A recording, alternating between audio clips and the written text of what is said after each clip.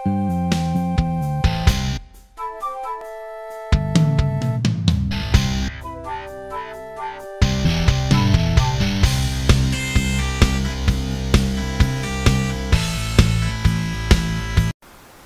नमस्कार। कार्यक्रम संवादको नयाँ श्रृङ्खला लिएर उपस्थित भएको छु म पवन पौडेल। गण्डकी प्रदेश सरकारमा मन्त्रीमण्डल विस्तारको विषय राष्ट्रिय राजनीतिमा केही समय चर्चामा रह्यो।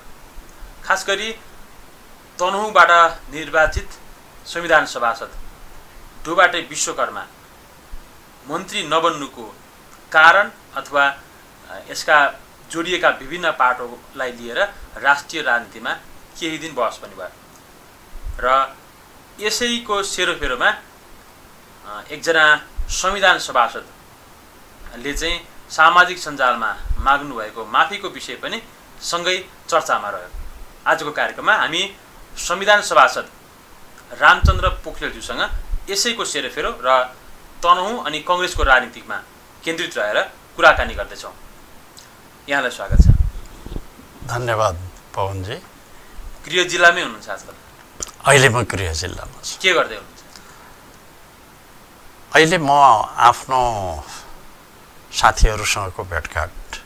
किनभने अहिले यो चुनावको सन्दर्भ पनि भयो। पार्टीको चुनाव। पार्टीको चुनावको सन्दर्भ पनि भयो र आफ्नो विकास निर्माणका कुराहरू पनि भए। र सँगसँगै आफ्नो कतिपय स्थितिमा त व्यावहारिक रूपमा पनि कतिपय कुरा ध्यान दिनुपर्ने हुन्छ। यी सबै कुराहरू म अहिले त्यसमा लागिरहेको छु तपाईँ कति वर्ष हुनुभयो जति साल भयो त्यति नै भयो अहिले। भनेको अठहत्तर वर्ष हुनु त्यही हो। यो उमेरमा पनि तपाईँ फेरि पार्टीको महत्त्वपूर्ण पदमा निर्वाचित हुन्छु भनेर तपाईँ लाग्नु भएको छ। अब त विश्राम गर्ने बेला भएन विश्रामको समय आउला किनभने जबसम्म मैले आफ्नो ऊर्जा आफूले दिन सक्ने योगदान र आफ्नो क्रियाशीलताको अनुभव मैले गर्छु तबसम्म मलाई उमेरको बारले छेक्छ जस्तो मलाई लाग्दैन। र यो कसैलाई पनि छेक्दैन। त्यो केवल एउटा मानसिकता हो कि म एजेड भएँ वा भइनँ भन्ने। त्यो कुरा चाहिँ क्रियाशीलतामाथि भर पर्छ। दुई हजार सत्र सालमा तपाईँ तपाईँ आफू सत्र वर्ष हुँदाखेरिमा तपाईँ चाहिँ दुई हजार। सत्र सालै पऱ्यो होइन। दुई हजार सत्र सालमा तपाईँ कङ्ग्रेसको चाहिँ अभियानमा संलग्न भए बापत जेल पर्नुभयो डेढ वर्ष। त्यो बेला तपाईँमा जुन जोस थियो ऊर्जा थियो अहिलेसम्म पनि त्यत्तिकै ऊर्जा जोस छ? फरक कति पनि छैन बरु बढेछ अब अरू पाटोमा हामी धेरै छलफल पनि गरौँला।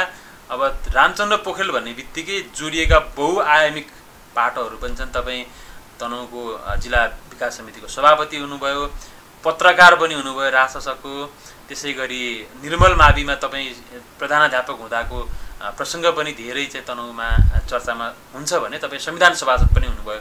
यी केही पाटाहरूमा अहिले हामी पछि चर्चा गर्नेछौँ। तर तपाईँले केही दिन अगाडि मध्यरात पनि कटिसके पछाडि एक बजे फेसबुकमा तपाईँले लामो एउटा भावनात्मक स्ट्याटस लेख्नुभयो। डोबाटे विश्वकर्मा प्रदेश सरकारको मन्त्री हुने करिब निश्चित भनेर भनिएको थियो। उहाँ हुन सक्नु भएन त्यसपछि तपाईँले चाहिँ पोखरेल परिवारका तर्फबाट माफी माग्नुभयो। पोखरेल परिवारले उहाँलाई मन्त्री नबनाएको भएर तपाईँले माफी माग्नु भएको यसो यो मैले एउटा भावनालाई अभिव्यक्ति दिया हुँ। वास्तवमा के भने मलाई पूर्ण विश्वास थियो कि अ, माननीय प्रदेश मान्य अ, डुवाटे विक अ, र सरिता गुरुङ दुईजना हाम्रो तनहुँबाट हुनुहुन्थ्यो। त्यसमध्येमा डुवाटेजी विकजीको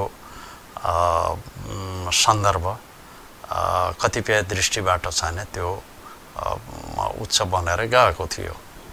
र त्यसमा सबैको सहमति थियो। करिब करिब जिल्लाभित्र भइदिए हुन्थ्यो भन्ने भावना थियो।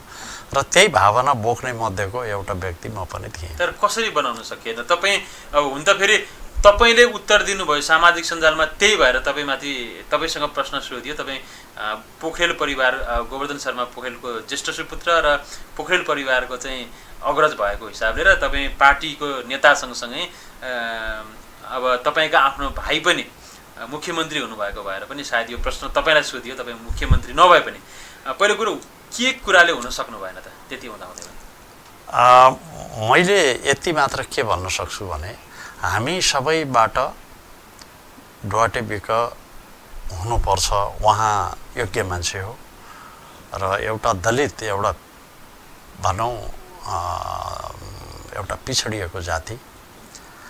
अब त्यसमा पनि हामीले त हाम्रो परिवारले त त्यो दलित आ, आ, हरूसँगको सम्बन्ध चाहिँ एक प्रकारको नङ र मासुको जस्तो दाजु र भाइको जस्तो एउटै परिवारको सदस्य जस्तो। पिताजी प्रजातन्त्र सेनानी गोवर्धन शर्मा। पोखरेलज्यूले नै उहाँलाई पार्टीको सदस्यता आजभन्दा बयालिस वर्ष अगाडि दिलाउनु भएको रहेछ त्यो उहाँकै भनाइबाट मलाई पनि अझ स्पष्ट भयो। तर त्यति हुँदाहुँदै पनि तपाईँ पनि सहमत हुनुहुँदो रहेछ उहाँ बन्नुपर्छ भन्ने कुरामा जिल्लामा पनि सहमति रहेछ पार्टीमा पनि रहेछ त के भएर कहाँबाट रोकिएछ यो के भने पारिवारिक रूपमा जिल्लाका साथीहरूको सन्दर्भमा र करिब करिब जसले यो दलित आन्दोलनका बारेमा अलिकति पनि रुझान राख्दछन्। उहाँहरूको लागि यदि डुवाटे बिक उहाँ मन्त्री भइदिएको भए प्रदेशको मन्त्री भइदिएको भए एउटा ठुलो दलितहरूकै एउटा सम्मान हुन्थ्यो भन्ने धारणा जो हो। त्यो त थियो त। त्यही धारणालाई अभिव्यक्ति भएन? मैले किन हुन सकेन भन्ने कुरा होइन किन भन्ने कुराको हकमा के भयो भने यो बनाउने काम मुख्यमन्त्रीको हो। मान्य मुख्यमन्त्रीज्यूले नै यो अन्तिम निर्णय लिने हो।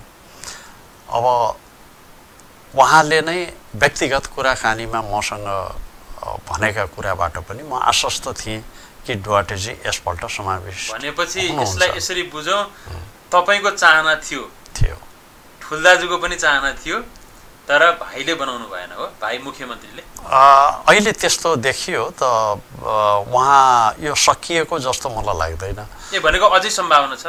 अझै सम्भावना देख्छु मैले। तर तपाईँले अब व्यक्तिगत रूपमा पनि भाइलाई तपाईँले सोध्नु भएन किन चाहिँ उहाँ हुनु भएन भनेर कारण सोध्नु भएन? अब यसो छ। यो के छ भने हाम्रो दाजु र भाइको सम्बन्ध आफ्नो ठाउँमा छ। त्यसदेखि अतिरिक्त अब अहिले एउटा जुन मुख्यमन्त्रीको जिम्मेवारी र सबै दलहरूलाई मिलाएर लैजाने एउटा अत्यन्त कठोर कामबाट अहिले मुख्यमन्त्रीको दैनिक चर्या गुज्रिरहेको छ। यो अवस्थामा धेरै एउटै कुरामा मात्रै प्रश्नावली राखिरहँदाखेरिमा अप्ठ्यारो पर्छ भन्ने हिसाबले धेरै हामीले त्यसपछि सोधेका छैनौँ। भनेको उहाँका केही बाध्यता होलान् भन्ने तपाईँको बुझाइ मैले त्यो अब। त्यो बाध्यता नभएको भए त्यस्तो निर्णय हुन्थेन होला। कस्तो बाध्यता तपाईँले अनुमान गर्न अथवा होइन यसमा त के हो भने नेतृत्व तहहरूबाटै कतैबाट प्रेसर भयो। जस्तो अब नेतृत्व तहको कुरा गर्नुभयो। होइन? कङ्ग्रेसका वरिष्ठ नेता रामचन्द्र पौडेलज्यू यही जिल्ला र यही प्रदेशकै हुनुहुन्छ।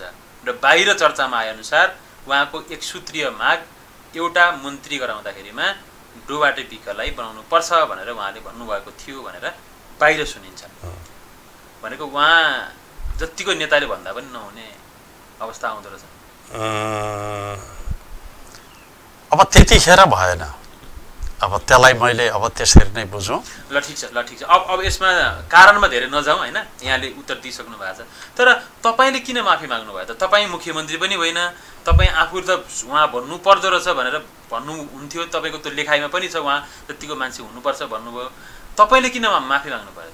तपाईँ मुख्यमन्त्री त्यो के हो भने मैले भावनालाई अभिव्यक्त गरे हुँ। पहिलो कुरो। र त्यो भावनाको अभिव्यक्ति दिइरहँदाखेरिमा कहिलेकाहीँ शब्दहरू अलिकति अगाडि पनि जान्छन्। मेरो पारिवारिक सम्बन्ध भएको र आफ्नै दाजुभाइभित्रको र यो हाम्रो दलित आन्दोलन दलित उत्थान सम्बन्धी पक्षमा हाम्रो लगभग सबै दाजुभाइहरू अवगत भएको अवस्थामा र स्वयं मुख्यमन्त्रीले पनि मेरो डुवाटेजीलाई राख्ने मेरो निष्कर्ष छ भनेर भनेको सन्दर्भमा व्यक्तिगत रूपमा ती कुराहरू भएको सन्दर्भमा आशावादी हुनु त स्वाभाविकै हो नि नहुँदाखेरि निराशा तपाईँलाई पनि। चित्त दुख्यो अवश्य दुख्यो नि नत्र त मैले त्यो